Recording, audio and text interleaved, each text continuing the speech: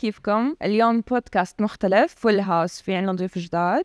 أول شيء بس نبلش طبعا مع coach أمين. كيفك coach؟ أهلا أهلا رغد كيف حالك؟ تمام. اليوم بدنا نركز أكثر على 962 Compete ال program تحكي لنا عنه. إيه 962 Compete بلش يعني يمكن هو أول program ب 962 يعني نحكي قبل ما يكون في 962 CrossFit كان عندنا برنامج عاملينه أنا وأصحابي بهدف إنه نقدر نشارك في بطولات ال CrossFit فبلشناه ب 2011 كان هدف منه إنه نجمع مجموعة athletes مع بعض نحاول نتدرب مع بعض وكان الحلم إنه نوصل على CrossFit Games أو CrossFit Regionals يعني أول ما بلش بتذكر آه، كنت أحضر فيديوهات على على اليوتيوب يعني على CrossFit Games وكثير يعني خلينا نحكي أخذت انتباهي قديش الرياضة يعني حلوة وقديش فيها تنوع وقديش فيها تحكي إنه فيها كل أنواع الرياضات. يعني هذا أكثر شيء خلاني أحب أصلا رياضة ال CrossFit من ناحية competition قديش فيها تنوع وقديش فيها تحدي. يعني أنا طبيعتي يعني بحب دائما أختار شيء يعني ما يكون سهل ما يكون أي حدا بيقدر يسويه أو يوصل له لازم اللي بده يوصل له يكون جد بتعب وبيستاهل يوصل له.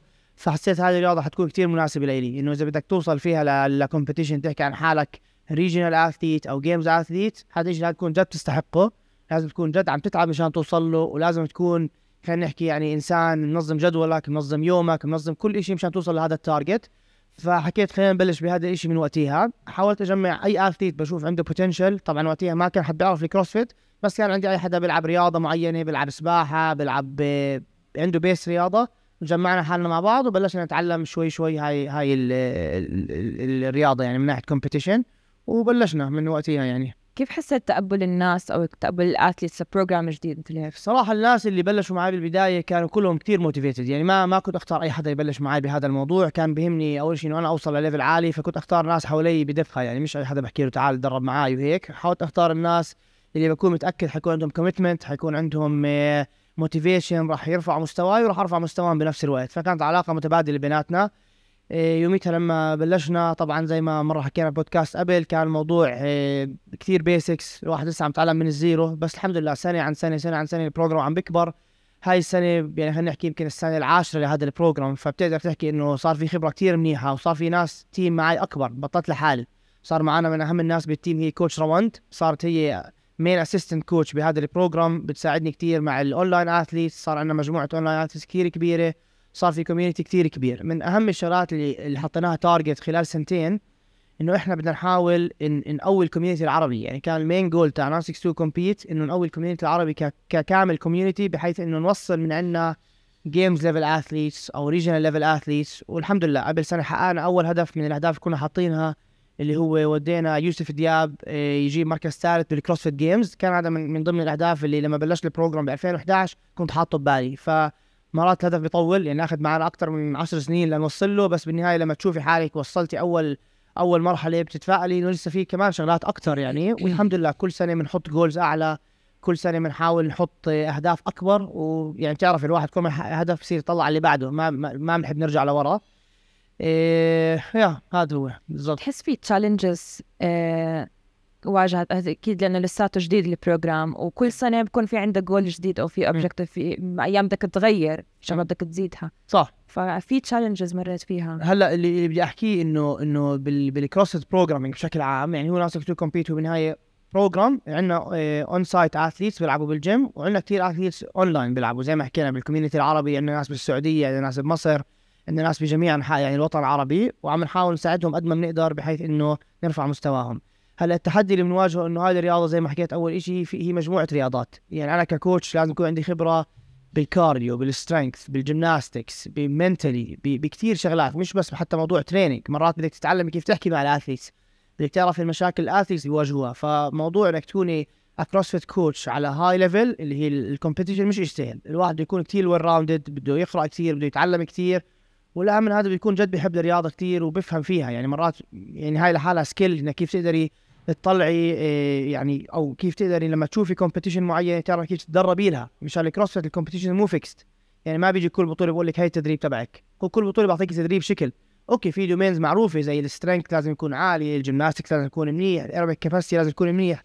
بس كل سنة في new challenges لازم تكوني دائما up to date لهذا الشيء فمن الشغلات اللي هلأ رح نحكي عنها هي وجود coach روان معي كثير سهلت علي موضوع إنه نضلنا دائما up to date دائما بنعمل research مع بعض. دائما بحكي لها مثلا كل فترة نمسك topic معينة. for example هلأ إحنا عم نقرأ بموضوع اللي هو ال powerlifting في عندنا program اسمه ال conjugate strength هذا program كثير قديم بال powerlifting اللي هم squat deadlift bench press وعم نحاول نختص فيه أكثر ناخذ كورسات فيه نتعلم فيه بنقدر نعمل meetings مع بعض بنناقش هذا الموضوع. هي بتقرأ topics أنا بقرأ topics وبنحكي مع بعض بحيث إنه كل فترة نمسك موضوع نختص فيه. ممكن بعديها نمسك gymnastics ممكن بعديها نمسك cardio ممكن بعديها نمسك CrossFit program ل coach مثلا معروف ونحاول نحلله. نفهم شو ال coach عم بيعمل شو ال concepts اللي عم بيحاول يحطها.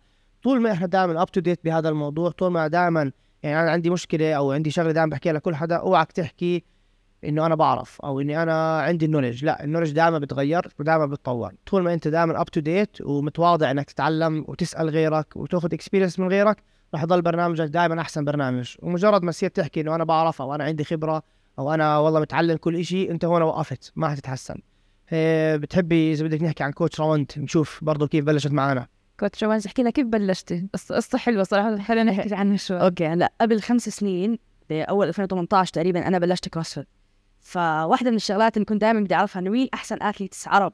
آه وأنا من الأردن بس كنت عايشة بالسعودية. فعملت هيك research خفيف لقيت إنه coach أمين كان fittest coach ديما كانت fittest فكلهم من الأردن. آه دخلت على ال account تبعهم شفت كيف بتدربوا كثير كيف ال environment تبعتهم كيف جد إنه ال group كثير motivated ال motivation تبعته عالي عشان تتدربي معهم.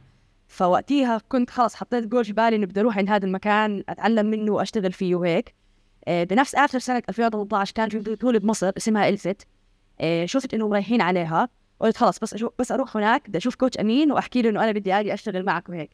صارت رحت البطولة شفت coach أمين حكيت له إنه أنا آخر السنة راح آخذ level 2 آه بس أخلص بالمدرسة بدي آجي عندك بكون assistant coach إيش ما بدك بهذا الجيم؟ أنا بعمل فحكى لي okay خلصت المدرسة بعثت له message على الانستغرام بدي آجي أشتغل معكم بدي بدي أبلش team معكم. حكى لي okay إنه يلا بس توصل عندنا تعالي. وهيك بلشت معهم. يعني كنت ك assistant coach أكثر بقدر أحكي شغلة إنه يمكن روند أول مرة أنا شفتها كنا بطيارة كنا رايحين على مصر بتذكر. فكانت اكتساب هيك صغيرة فطلعت بحكي لي مرحبا coach أمين بحكي أنا أوف يعني غريب الطيارة على حدا بعرفه يعني بتعرفني بتحكي لي. أنا سمعت. قلت لي أنا سمعت سمعت عنكم كثير وقلت له مين أنت؟ شو اسمك؟ أنا اسمي رواند وأنا من الأردن بس عايش في السعودية. فلفت انتباهي صراحة قد إيه شفت عندها يعني خلينا نحكي passion قديش عندها مهتمه يعني, يعني دائما أنا بحكي بالذات هذه الرياضة إذا أنت مش كثير مهتم فيها مش كثير حاببها ما راح تبدع فيها. فهذا كان أول impression أخذته عنها. حكيت لي أنا راح أجي أدرس بالاردن بعد فترة وحاب اشتغل عندكم. طبعا الموضوع انترك وقتها فترة فنسيت عنه. بعدين شفتها جد إجت على الأردن. اجت مثلا مع أبوها قعد معنا بالجيم حكى لنا إنه أنا بنتي حتيجي بالأردن ديروا بالكم عليها وبدي تتعلم منكم من هذا الحكي. فشفت هاي ثاني indication منيح انها التزمت باللي حكت لي إياه. إنه حكت لي راح تيجي على الأردن راح تيجي تدرس وعملت هذا الشيء بعديها بلشت معها اللي حبيته ب coach رواند إنه بلشت معها من ال zero. يعني كنت أحكي لها روحي احضري هاي الحصة تعلمي منها. تعالي داومي هون. ما عمرها حكت لي ما بقدر أو مشغولة أو أو تعبت أو فشفت إنه في لها potential رح تتطور فيه ما دام عندها هذا ال commitment وال hard work هدول شغلتين كثير كانوا مهمين بالنسبة لي. الشغلة الثانية إنه أنا إذا بدي أخلي coach يكون معي assistant بهذا ال program عشان كثير بيهمني هذا ال program لازم يكون بالنسبة لي من أحسن الكوتشات ما ما ما أقدر أختار أي حدا يساعدني فيه. فكنت كثير مرات أراقبها بشغلات أحكي لها مثلا اقرأ هاي الشغلة قبل ما تبلش معي ب compete حتى. تعلمي هاي الشغلة تعلمي L1 تعلمي level 2 خذي هاي الكورسز وارجعي لي فيهم. كانت كل شيء بحكي لها كانت تسويه. اقرأي هذا الكتاب تعلمي من هاي الشغلة واحكي لي شو تعلمتي. كان basically زي اختبار لإلها وبنفس الوقت زي تدريب لإلها. إيه بقدر أحكي لك نجحت بكل اختبار اعطيتها اياه حتى من ناحية commitment تبعها للتدريب. قلت لها أنا شغلة إذا تكوني أنت good coach عم تكوني great example فإذا تكوني معي بدك تساعديني قدام الشغلات أكثر بدك تشتغلي معي ب compete لازم تكوني example لكل حدا لما يطلع عليكي يشوفك قديش أنت hard work قديش أنت committed يعني coach رواند مش من النوع اللي كان عندها very strong base بالرياضة. يعني ما كانت already رياضية من زمان. التحول اللي عملته بحياتها من 2018 لليوم هو 360 درجة. يعني تيجي تحكي إنه هي هلا لو تقارنيها بأي athlete بيلعب من هو صغير هي هي عندها ال fitness أحسن منه.